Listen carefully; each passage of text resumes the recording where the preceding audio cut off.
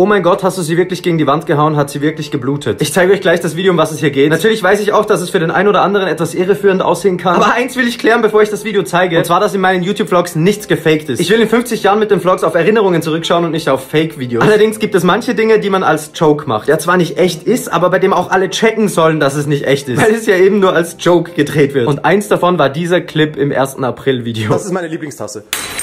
What the? April, April. Das ist heute von deiner Tasse. Aha. Und ist das vielleicht auch dein Lieblingskuchen? Meinst das macht überhaupt keinen Sinn? Du machst überhaupt keinen Sinn.